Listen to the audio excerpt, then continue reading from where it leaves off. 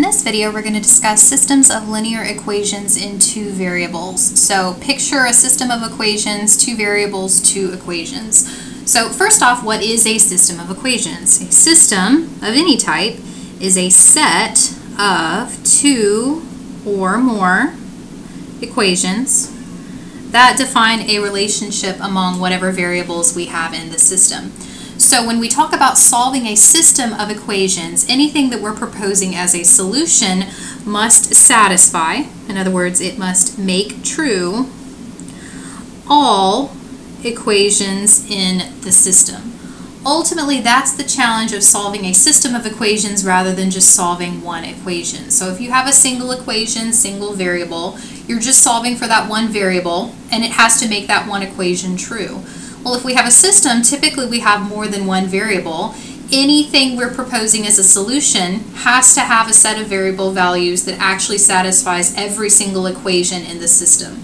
So if we find values that satisfy one equation, but they don't actually work in one of the other equations in the system, then they don't actually represent values um, that solve the system.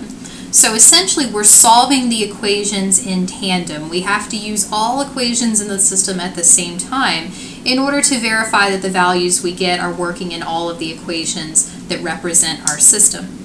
So here we're going to talk about a couple different algebraic ways to solve a system of equations, specifically the methods of substitution and addition, sometimes called elimination.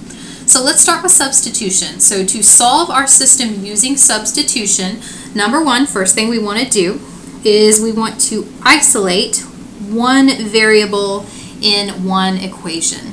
Now ultimately it doesn't matter which equation you pick and which variable you pick, but typically you want to pick a variable that has a coefficient of 1. So I'm going to put a note here. Look for a coefficient of 1 coefficient of 1. In other words, you're looking for a variable that's going to be easy to isolate. If you can find a variable that has a coefficient of 1, then all that you're going to have to do to solve for that particular variable is add or subtract other terms in that equation. If the variable you choose has a coefficient other than 1, then in order to isolate it, you'd have to divide out that coefficient.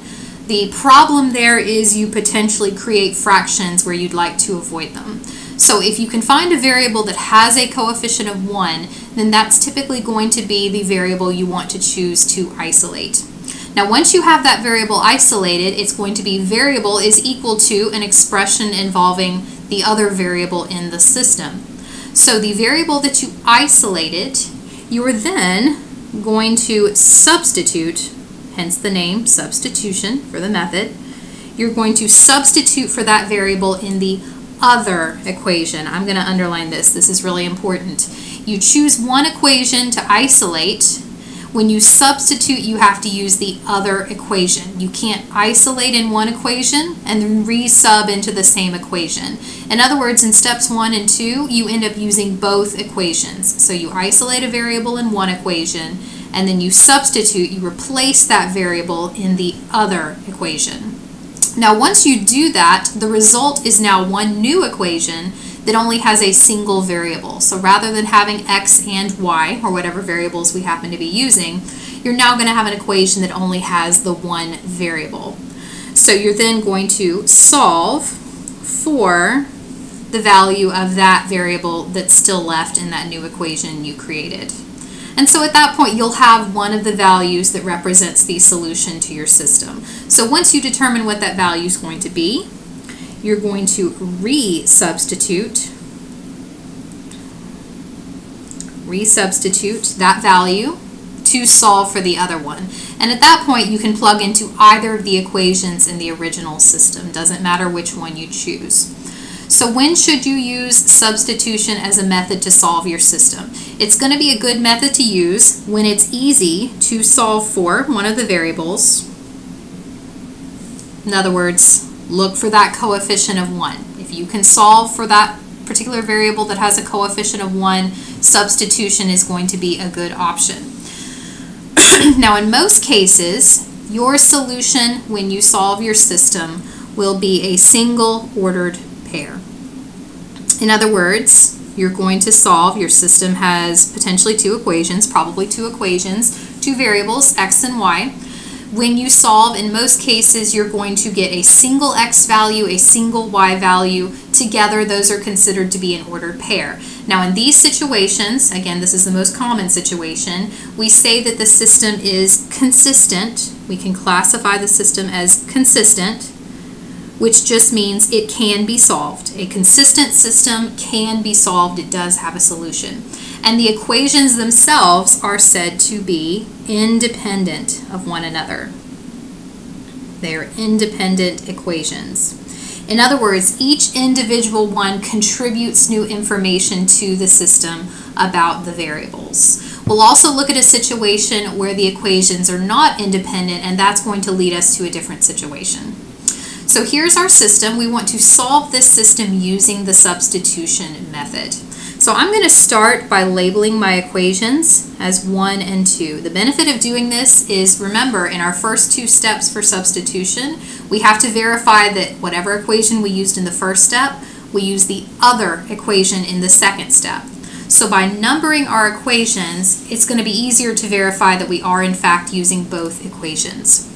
So I need to choose one equation and choose one of the variables to isolate. So how do I know which one to choose? Well, again, I'm looking for a coefficient of 1. If I can find a variable that has a coefficient of 1, that's going to be the easiest one to isolate. So in this case, the only variable that has a coefficient of 1 is going to be the y in the second equation. Notice if I tried to isolate the x or tried to isolate x or y in the first equation, I'd end up having to divide out a coefficient, and that's going to create fractions unnecessarily. So ideally, I'm going to choose equation 2. I'm going to label it. I'm going to rewrite it. 4x plus y is equal to 5. And then in that equation, I want to isolate this variable y. So I can isolate the y by subtracting 4x, moving it to the other side. So y is going to be equal to 5 minus 4x. You can write it that way. You can write it as negative 4x plus 5. Your choice, doesn't matter. So now what I ultimately have is an expression that relates y and x, where y is written in terms of x. So what this ultimately means is that anywhere in the system that I see a y, I could put 5 minus 4x instead because they are algebraically, logically equivalent. So I'm going to go to my first equation. And again, I just want to write down the equation to start with. Don't try to make any changes until you've written down what you start with. And what this expression now tells me is that wherever I see a y, I could put 5 minus 4x instead because again, they're logically equivalent. So I'm going to substitute in this equation. This is where I do the actual substitution. I'm going to substitute for y with this expression I found relating y and x. And negative 5x, I'm going to leave that alone. So we now have negative 5x minus 4, and then I'm going to replace my y with 5 minus 4x. I'm going to plug it in. Now, as with any other situation, when you plug it in, you want to put parentheses around it. That's going to help you take care of all your signs. And notice in this case, if 4 is multiplied by y, then 4 also needs to be multiplied by everything that we're replacing y with. So we'll have to distribute that 4 or the negative 4 to both of those terms in parentheses. What's the benefit of doing this though? What's happened? Well, now we have a new equation that's a combination of the first two, but this new equation only contains the variable x. We've now eliminated that variable y, so we have an equation where we can actually isolate that single variable. So first thing I need to do is clean everything up. So distribute that negative 4. So we have negative 5x, negative 4 times 5 is going to be negative 20. And then careful with your signs, negative 4 times negative 4x is going to be positive 16x. and that's equal to 2. Okay, so combine our like terms. So the x terms combine, and we can go ahead and move the 20 over as well if we want. So negative 5x plus 16x is going to give us positive 11x. And then add the 20, move it over. That's going to give us 22. So that means, dividing by 11, x is going to be 2. Once we have the value for x, remember we still need to find the value for y. So you're going to have to resubstitute this value into one of the equations. So I could sub it in here in the first one. I could sub it into the second one.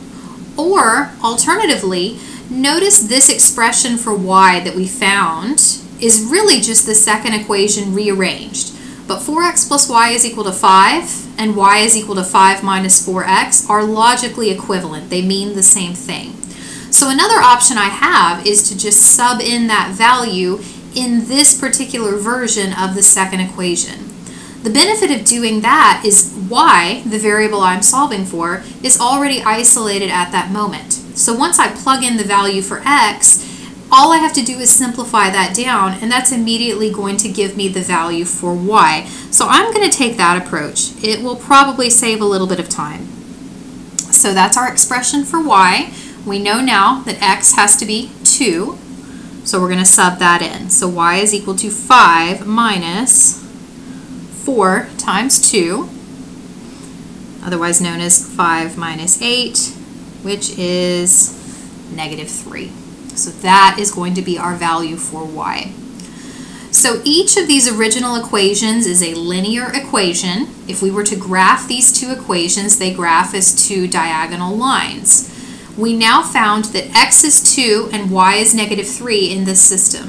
What this represents is the ordered pair, specifically 2, negative 3, where these two lines would intersect if we were to graph them. So our solution is the ordered pair 2, negative 3, and this is going to be the location where the graphs of these two lines would intersect. It's the one ordered pair that those two graphs have in common.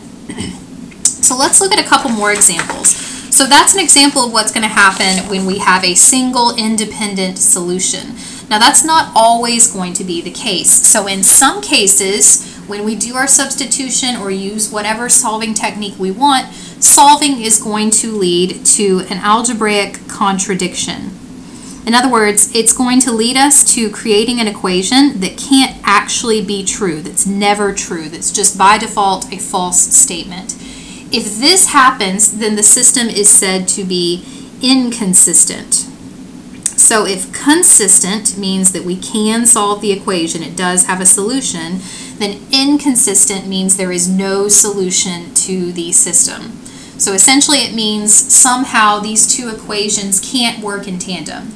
If we were to think of this graphically, then a consistent system has some location where our equations and their graphs overlap. An inconsistent system, if we're talking about linear equations, means that if we were to graph these two equations, there isn't actually a location where the two lines are going to cross. So in that case, the lines that we graph would end up being parallel. So let's graph this one, or let's solve this one using substitution. Now here we don't actually have a variable that has a coefficient of 1. So in some situations substitution might not be a good option. But if we can look at all the different variables and all their coefficients, there may be one that's still easy to isolate. Well, look at the second equation. So let's label them again, 1 and 2. Look at our second equation. Notice x is almost already isolated by itself. The only thing that's in front of it is that 2, so we would need to divide out that 2 to isolate the x. But look at what 2 is going to divide into. It's going to divide into a 6, and it's going to divide into negative 4. 6 and negative 4 are both divisible by 2. So sometimes dividing the coefficient will create fractions unnecessarily. But here, if we choose to divide out that 2, it's going to divide into two numbers that are divisible by 2, and we're not actually going to create any fractions. So that's going to be a good option here. So we're going to use equation 2, rewrite it as is, and then we're going to isolate our x by dividing 2 into each of the terms in this equation. So we end up with x is equal to 3 minus 2y. So just as with the previous system, we now have an expression for one variable in terms of the other. So what this tells me is that anywhere I see an x, I could logically replace it with 3 minus 2y because they're algebraically equivalent. So I've used equation 2. Now I'm going to use equation 1 to do my substitution. So let's rewrite the equation. I'm substituting to replace x, so I'm replacing the x. So negative 4 times my expression for x in terms of y. So 3 minus 2y minus 8y is equal to 2. Okay, now we need to distribute this negative 4. So negative 12, negative 4 times negative 2y, watch your signs, it's a positive 8y. And then we have a negative 8y it was already part of that equation, and that is equal to positive 2. Now notice our variable terms are already on the same side of the equation, so we just want to combine them. Positive 8y and negative 8y, well those are actually equal and opposite. So those terms actually cancel out. What are we left with? We're left with negative 12 on the left, and we're left with 2 on the right. Negative 12 is equal to 2. Well, that is a false statement. That's what we've referred to as a contradiction. There's no way that negative 12 and 2 are ever equivalent. So two things have happened. Number one, we ended up with something that's just undeniably false. But notice we've also dropped off all our variables. By doing the substitution for x, the result is that y was ultimately eliminated. So we end up with an equation that not only is false, but we now don't have a variable to solve for. So because we've fallen into this particular situation, this now means that we have a system that has no solution. So the solution here is there is none, so no solution. Now you might be wondering, did this happen because we solved for x first? In other words, suppose I'd chosen maybe the first equation or the second and solved for y and then substituted for y. Would the same thing have happened? And the answer is yes you may not have ended up with the same contradiction. But if you isolated y and wrote it in terms of x and then substituted for y, you would still end up with a contradiction. You would still be led to the same conclusion that the solution is actually not there. It's no solution, that the system is inconsistent. So the conclusion we reach is going to be independent of the technique we use to solve. So in this case, anytime we get that contradiction, something that's just categorically false and our variables are eliminated, that's our indication that there is no solution. Now there's one final situation that we'll see from time to time. In other cases, rather than solving and getting a contradiction, sometimes we can solve and get an algebraic identity an identity is a statement that is always true. 2 equals 2 is always true. Regardless of anything else, 2 equals 2 is always true. So in this case, the system is consistent. There is a solution. We can find a solution. But rather than having independent equations, we say that our equations are dependent. Ultimately, what that means is that they are copies of each other. In an independent system, the two equations are truly independent. They're truly different from one another. So each one contributes new information about the system. Well, in some situations, you'll end up with a system where one equation may look different from the other, but algebraically speaking, they're actually equivalent. So adding the additional equation into the system doesn't actually give you any additional information about the variables. So we can solve the system but what it ultimately means is that we're not going to get a unique ordered pair that solves the system. There's actually going to be infinitely many solutions. Now we have to be careful when we say infinitely many solutions. We have to think about what solutions look like. This does not mean that the solution is all real numbers. That is not what it means. The solution is related to all real numbers, but think about what a solution looks like if we're talking about a system of equations where we have an x and a y, solutions are ordered pairs. All real numbers is just a set of numbers. Okay, we're talking about ordered pairs. We're talking about a value for x and a value for y. But there's infinitely many x's and y's that make our equation true, or make our system true rather. So the solution infinitely many. The solution is all ordered pairs that are going to take on a specific form that meet the requirements of the two equations in the system. So to find the form, what we're going to think of as a general form, you're going to leave either x or y as a variable. You're going to leave it variable. It can change. It can vary. And then you're going to solve for the other variable in terms of whatever's left over. So if you isolate x, or if you leave x, you're going to solve for the other in terms of x. You're going to solve for y in terms of x. If you leave y as a variable, then you're going to solve for x in terms of y. So essentially, you'll leave one of them variable. We call this a parameter. So whichever one you leave variable, we call this a parameter. Essentially, it's an open variable.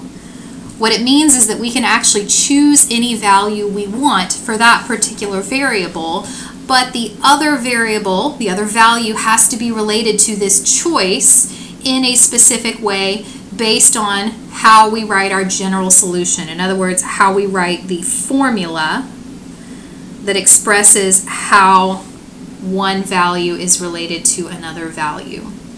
So we'll leave one of our variables truly variable. We call that our parameter.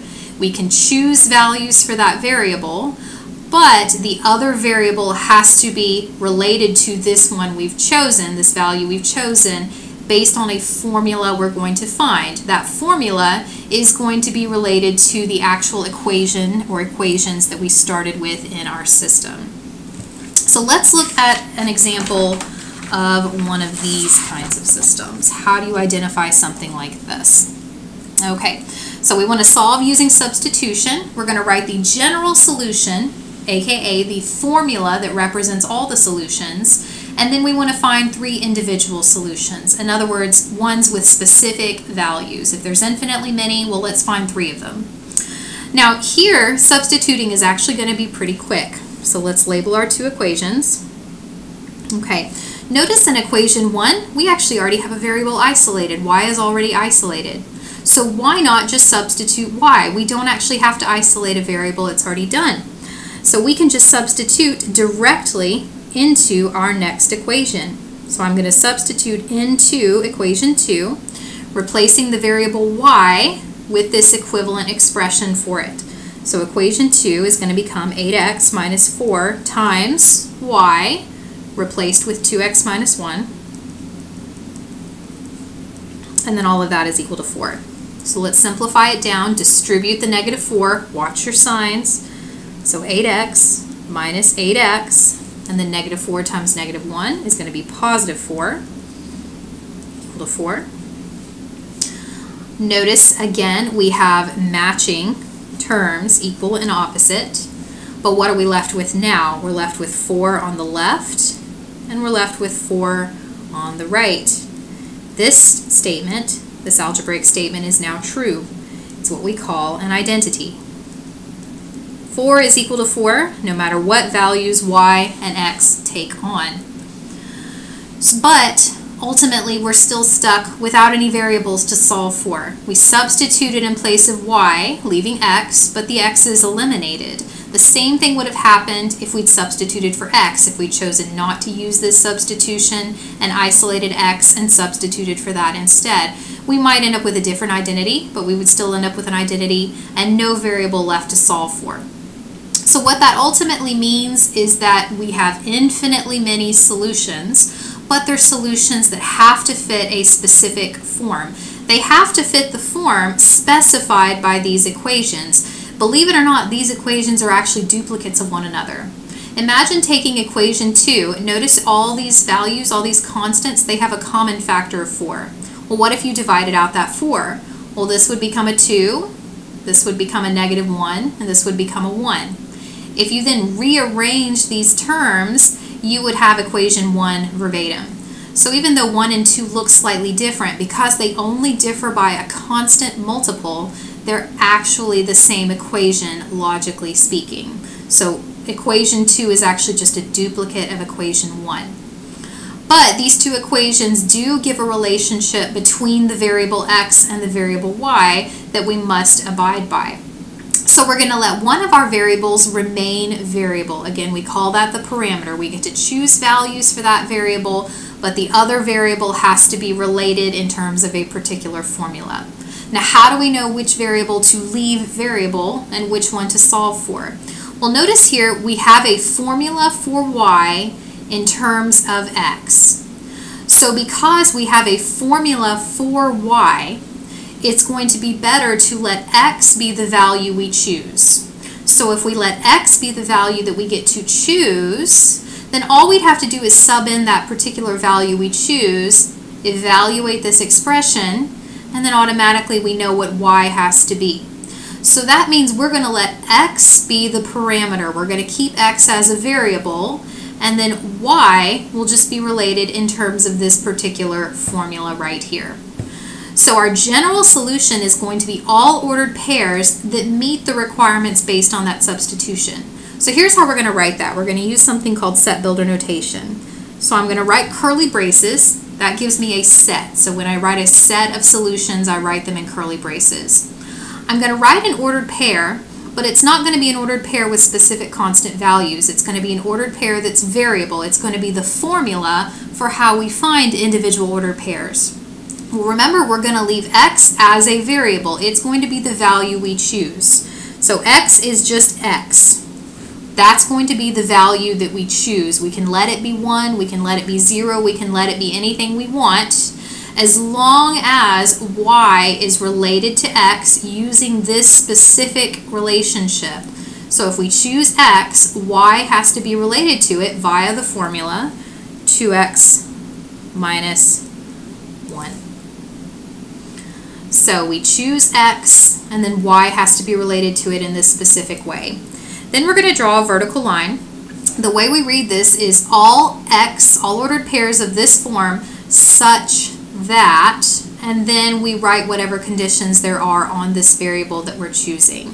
So we can say x is any real number, or is a real number. And then close the brace. So it's all ordered pairs that fit this form for any value where x is a real number. So again, what does this mean? It means we can choose any value we want for x. x can be any real number. But based on the value we choose for x, we then have to solve for the associated y using this particular formula. So this represents all the possible solutions we can find. Any ordered pair that fits this formula is a solution. So if we want individual solutions, we specifically want to find three of them, all we have to do is choose specific values for x and then solve for the associated value for y. It doesn't give us any limitations on the x we choose, so choose whatever you want. I'm going to choose negative 1, 0, and 1. So I'm going to let x be negative 1. I'm going to let x be 0. And I'm going to let x be 1. And then based on the value we choose, we just have to solve for what the associated y would be. So y is related to x using the formula 2x minus 1. So if x is negative 1, then y has to be 2 times negative 1 minus 1. So 2 times negative 1 is negative 2. Negative 2 minus 1 is negative 3. So one ordered pair that solves this system is negative 1, negative 3. Now what if x is 0? Same idea x can be 0, but y has to be related to it in this particular way. So if x is 0, y is going to be 2 times 0 minus 1. 2 times 0 is 0. 0 minus 1 is negative 1. So another solution would be 0, negative 1. And then if x is 1, y is related via the formula. So it would be 2 times 1 minus 1. 2 times 1 is 2. 2 minus 1 is 1. So when x is 1, y is 1. So these three individual ordered pairs represent three individual solutions to this system. Three out of infinitely many, but three that would be solutions to the system. So what would this look like if we graphed it? So if we have two independent equations, we graph them, they're both lines, we're looking for the ordered pair that represents the location where they intersect. If the solution happens to be inconsistent, they're never going to intersect, which means the lines are parallel. Here, we have one equation that's in slope-intercept form. We have one equation that's in standard form. But as we've determined, these two equations are actually algebraically equivalent. They only differ by a constant multiple. So if we were to graph these, because they're actually the same equation, they're actually going to look the same. It's literally going to be one line on top of the other. One line is going to coincide with the other. So every ordered pair on that common line represents a solution. This is the form that all of those ordered pairs are going to take on, and these are three of the ordered pairs that will appear on that common line. So that's the general idea.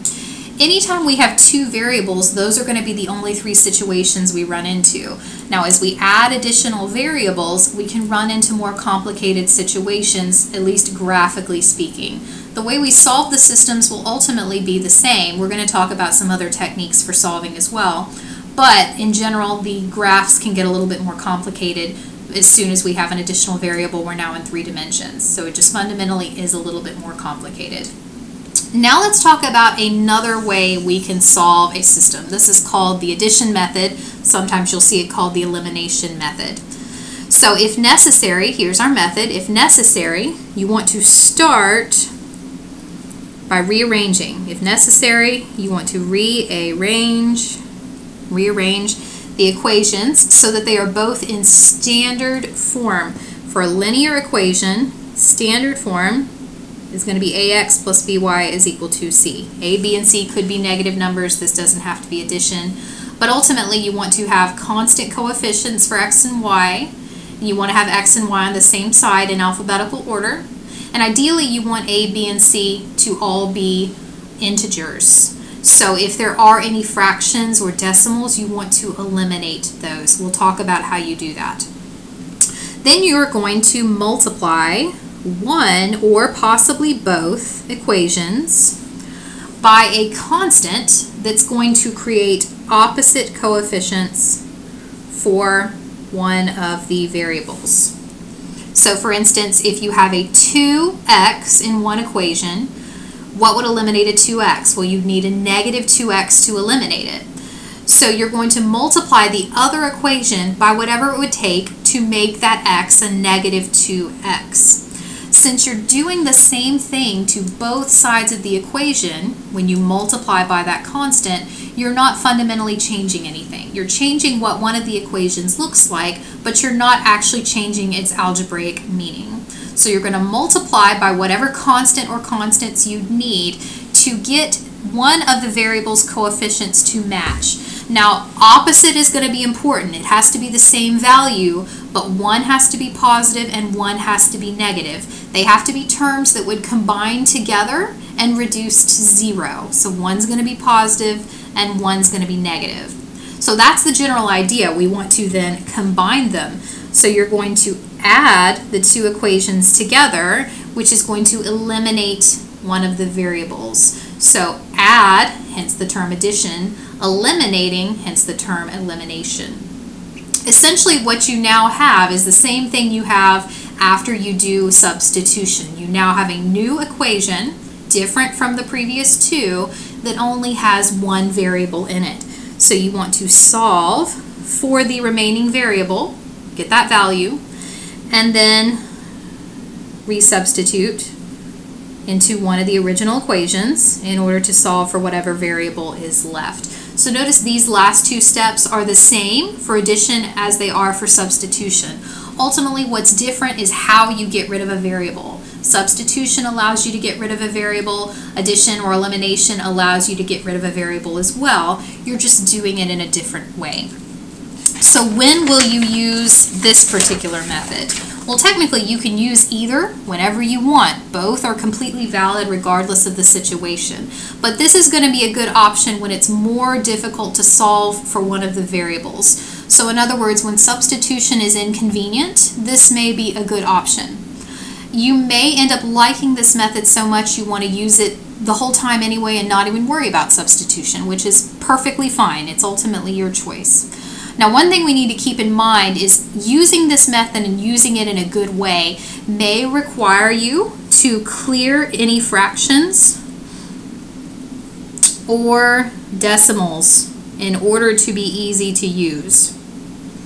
Why do we need to do this? Well, getting matching coefficients, knowing what to multiply by in order to get those matching coefficients is a little bit more difficult if the coefficients you start with are fractions or decimals. So ideally, you want to get rid of any fractions or decimals that you start with in order to put yourself in a good position in order to be able to find those coefficients. So we'll talk about how you eliminate those in a couple examples. So let's look at our first example. So we're going to have three. We want to solve each system using the addition method. And if it applies, in the situation where it applies, we want to write the general solution and then three individual solutions. So here's our first system. We want to solve this one using the elimination or addition method. So first thing we want to do is take both of these equations and write them in standard form. In other words, we need to rearrange everything so that both variable terms are on the same side. We have a constant on the other side. So our first equation we can actually put in standard form in one step. All I need to do is move the y term over so I can add 4y, move that over. So that's going to give me 11x plus 4y is equal to negative 5. And if we want, we can label these. So this is going to be our standard form for equation 1. Now a little bit more work is involved in equation 2. First thing we need to do is distribute that 2. We can't really move terms around while there's still parentheses involved. So we'll start by distributing. So that's going to be 2x minus 4y is equal to 22 plus y. Okay, so we've got x and y on the same side, but we also have a y on the right-hand side. So we need to move that over. Subtract it, combine your like terms. So that's going to be 2x minus 5y is equal to 22. So these two equations are now going to be the ones we use in order to do our addition. So I'm going to write them one on top of the other. I want to line up those matching variables.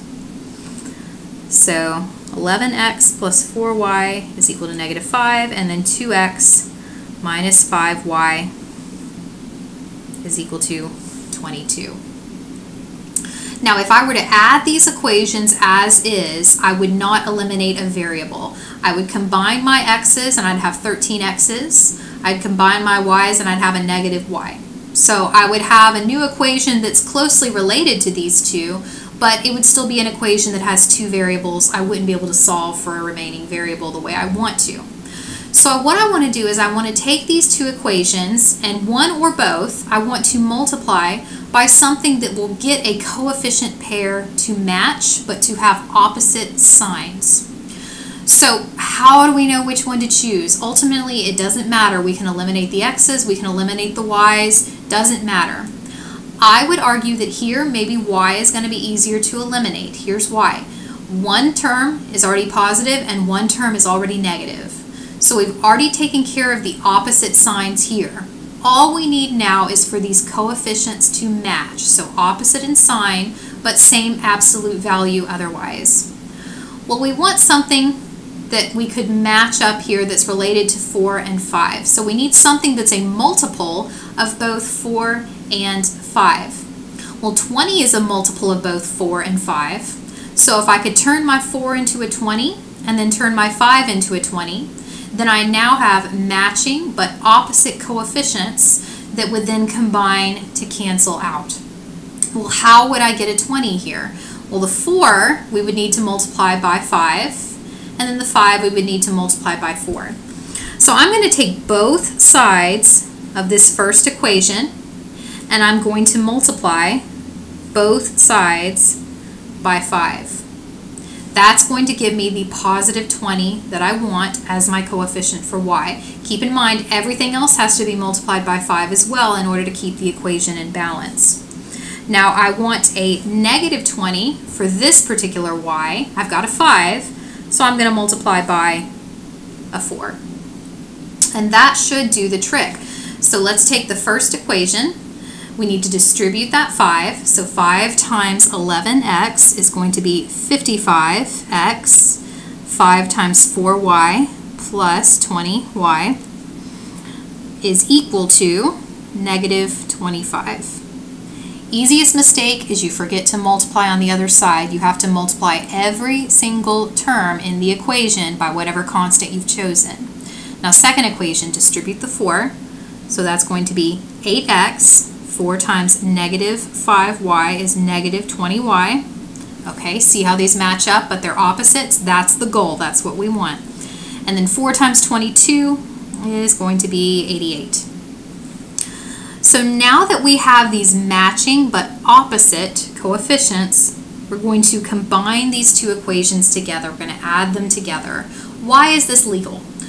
Well, we're combining things that are all equivalent. So if this particular side of the equation is, is um, equal to negative 25, then by adding this to something, it's the same thing as adding negative 25 to that. So ultimately things stay in balance because I'm adding things that are like to each side of the equation. Now my y's are eliminated, and again that was the goal. But I need to combine whatever's left over. So 55x plus 8x, that's going to be 63x. And then negative 25 plus 88, well if I'm not mistaken, that's also going to be 63. Let's verify that. So if you have a calculator, just verify that. There's no sense in not using one if you can. So negative 25 plus 88, sure enough, 63. Okay, so now we're in a good position to be able to solve for x. 63 times x is equal to 63, so divide our 63. That means x is equal to 1. So that is going to be half of our solution. Now we need to solve for y. You can choose either equation Maybe choose the first one just because it's going to be easier to substitute. So we're going to substitute in our 1 here. So let me rewrite the equation. So 11x is equal to negative 5 minus 4y. We know that x is equal to 1, so I'm going to substitute that value. And then I'm going to solve for y. So 11 times 1 is 11. I'm going to move my 5 over, so add it, move it over. So 11 plus 5 is going to be 16. So 16 is equal to, watch your signs, you still have a negative, so negative 4y. And then if I divide by negative 4, y is going to be equal to negative 4. So my solution is going to be x equals 1 and y equals negative 4, the ordered pair with those two values. Now we haven't done this yet, but technically speaking, you can always check your work. How do you check your work? Well, if you substitute these two values back to your original two equations, both two equations should be satisfied. You should be able to sub in these values for the first one, and that equation is then true. Sub in the values for the second, and that equation is also true. So that's something to consider doing, particularly if this technique is new to you and you haven't solved systems of equations before or haven't done it in a while. You can always go back and check your work.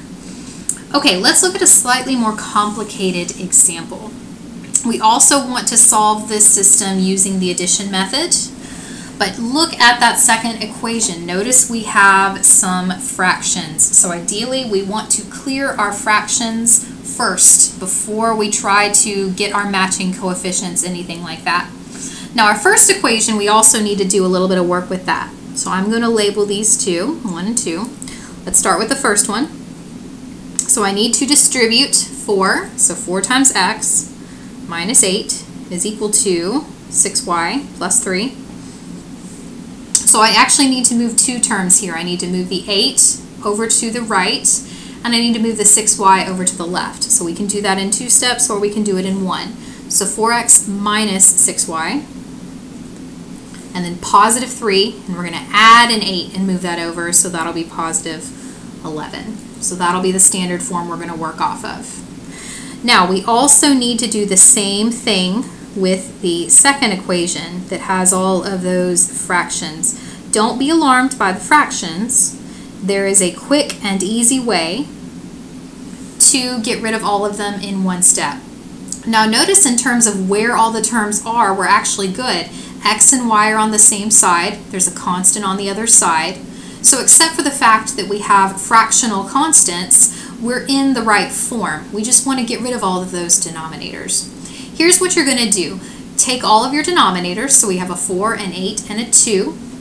If we were to get a common denominator among all of those, what would the least common denominator be? Well, it would have to be 8. 8, of course, is a factor of itself. 8 is a multiple of 8, rather. 8 is a multiple of 4. 8 is a multiple of 2, and it happens to be the smallest one. So rather than actually changing every fraction to have a denominator of 8, I'm going to use that common denominator in a different way. I'm actually going to multiply every single term in this equation by that common multiple of 8. So I'm going to multiply my left-hand side by an 8, and I've run out of space, so I'm just going to write it right there. And then the same thing on the right-hand side, I'm also going to multiply that by 8. The effect is that because 8 has 4 as a factor and 8 has 2 as a factor, and of course 8 has itself as a factor, all of those denominators are going to cancel out. And we ultimately just have to determine what the numerators are going to be. So we're going to multiply the 8 times 1 fourth. You can think of it as 8 over 1 if it helps. So 8 times 1 on top We'll do it in two steps. 8 times 1 on top, 4 times 1 on the bottom. So that's going to be 4. That's now our coefficient for x. Now over here, 8 times 3 is going to be 24. Okay, and then 8 times 1 in the denominator is just going to be 8. That's going to be our coefficient for y. And on the other side, it's negative.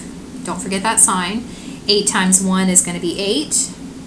And then 2 times 1 is going to be 2.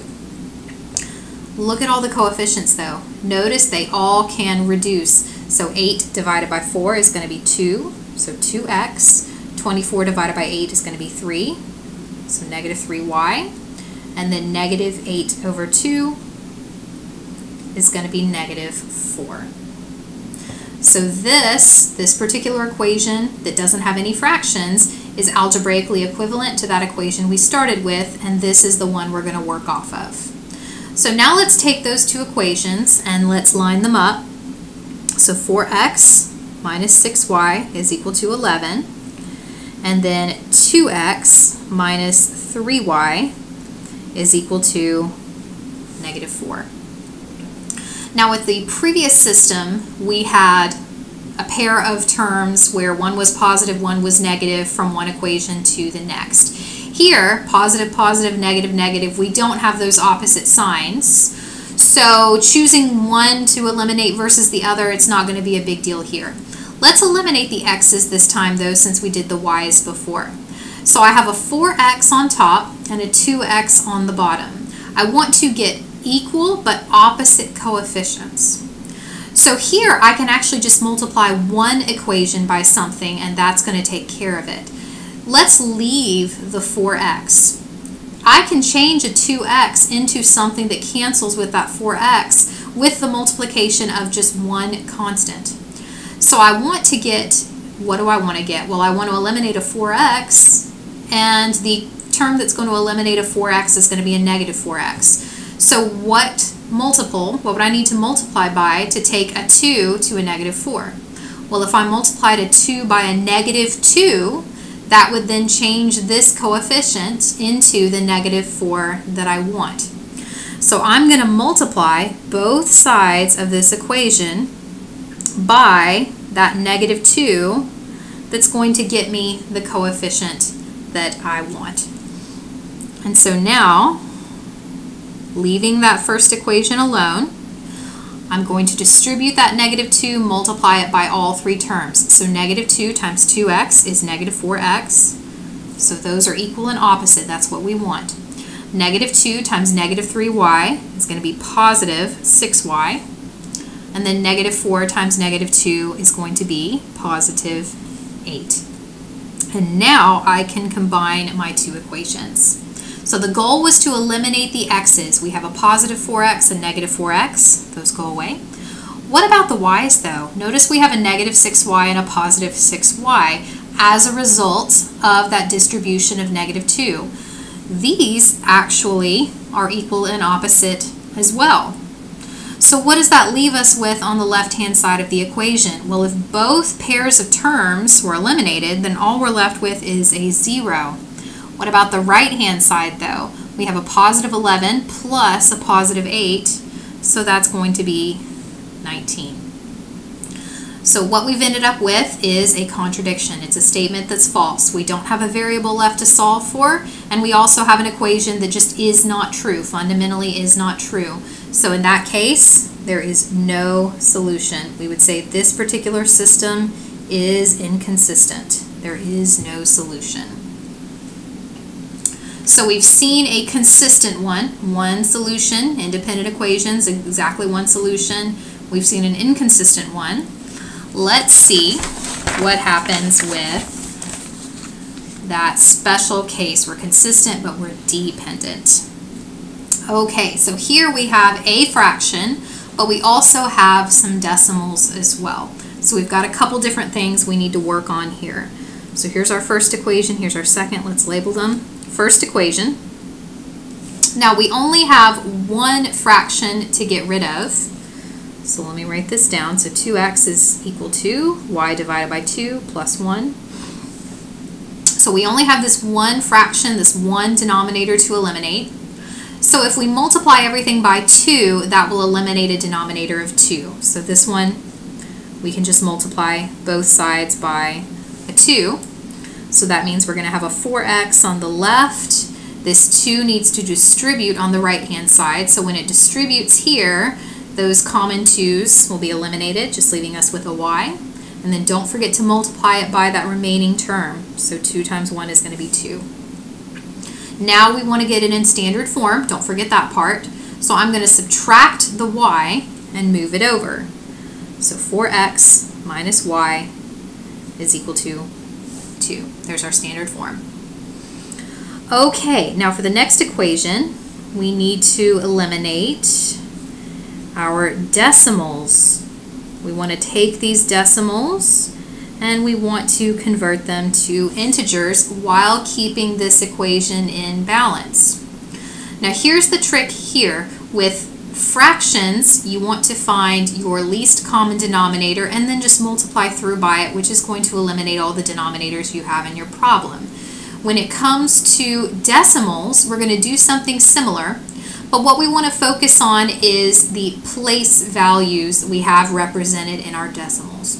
So notice for each of these, we've gone out to the hundredths place. We have tenths, we have hundredths. Each of these goes out to the hundredths place. In order to eliminate decimals, this is 4 hundredths. We could think of this as 4 over 100, 1 over 100, 2 over 100. What would we do to get rid of that denominator of 100? Well, we'd multiply by 100. So what we need to do is if we can identify the furthest out place value, then multiplying by that particular place as a whole number is then going to take these decimals and it's going to convert them to integer values. So because the furthest out place happens to be the same for all three of the decimals, it's the hundredths place, we can multiply both sides by 100 and that is going to convert these decimals to integers. So I'm going to multiply both sides by 100. And you may want to do this in the calculator, but ultimately, multiplication by powers of 10, we can actually model that just by moving the decimal. So if you multiply by 100, that tells you to move the decimal two places to the right. So 0.04, move your decimal two places, 0.04 becomes just a 4. So that's going to become 4x. 0.01, move your decimal two places. That's just going to become 1y. So we'll just call that y. And of course it's negative. And then on the other side, 0.02, move your decimal two places. That's just going to be a 2. So now we have our two equations. Let's line them up. So 4x minus y is equal to 2. And then also 4x minus y is equal to 2. Notice they are the same. So even though the two original equations looked vastly different, they are actually equivalent, algebraically speaking, and this proves it all of these versions of these equations are the same. All three versions here are equivalent to the original. This version is equivalent to the original. And so both of these equations happen to be the same, including their original versions. They're just different versions of the same equation. That is what we mean by dependence. Ultimately, one equation is just a copy of the other, so we don't get any extra information from this second equation. All we know about the relationship between x and y is generated by that one equation. But one equation is not enough to uniquely solve for x and y. That's why we've ended up in that dependent situation where there are going to be infinitely many solutions. So we want to do two things here. Number one, we want to write the general solution. In other words, what's the formula for generating all the ordered pairs? And then we also want to write three specific solutions based on that formula. So here we don't have a variable solved for like we did before but we need to solve for one of the variables in terms of the other. So think back to substitution. If you were to solve for a variable, if you were to isolate a variable, which one's going to be easier to isolate? Well, in this case, it's going to be the y. The y has a coefficient of 1. So isolating the y is going to be a little bit easier. If we want to isolate x, we'd have to divide a 4, which is going to create some fractions. So we want to isolate the y instead. Ultimately, we can just switch the y and the 2 and that'll take care of it. So if we add y, move it over, and then subtract 2, move it over, then we end up with y is equal to 4x minus 2. So this is our formula for y in terms of the variable x. So we're going to let x be our parameter. We can pick values for x, and then this tells us how we would find the associated y value. So our general solution is going to be all ordered pairs that fit that formula. So x can be whatever we want, but y has to be related in terms of this expression. So y is 4x minus 2. And then this is going to be the formula that we follow for any x that's a real number. So x is any real number.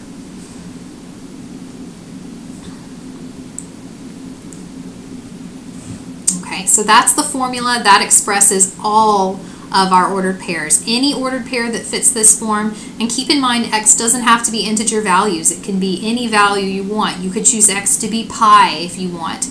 Pi and then 4 pi minus 2 would also be an ordered pair that solves this system. But when you're picking your specific solutions to find, just pick easy x values. I'm going to pick the same ones again. So I'm going to let x be negative 1. I'm going to let x be 0. And I'm going to let x be positive 1. And then we want to solve for y based on those values of x. So if x is negative 1, then y is going to be 4 times negative 1 minus 2. So that's going to be negative 4 minus 2, which is negative 6. So one ordered pair that solves this system is going to be negative 1 negative 6. If x is 0, then y is going to be 4 times 0 minus 2. 4 times 0 is 0. 0 minus 2 is negative 2. So another ordered pair would be 0, negative 2. And then if x is 1, y is going to be 4 times 1 minus 2. So 4 minus 2 is going to be positive 2. So another ordered pair would be 1, 2. So that shows you all three different situations using both techniques. Either technique is fine. Remember, substitution is going to be a little bit easier when we can isolate a variable. Um, addition or elimination is going to be a better option when isolating a variable is not really going to be easy to do when you don't have a coefficient of 1. But ultimately, you can use elimination in either situation. You can use substitution in either situation. Ultimately, it's just personal preference. So what happens when we have more equations and more variables? When we're talking about real-world problems, typically there's more than just two variables involved. In those situations, our systems become increasingly large, increasingly complex, and addition, elimination, substitution, they may not be the best options for how we can solve. So we're also going to talk about how you would solve a system using matrices in an additional video.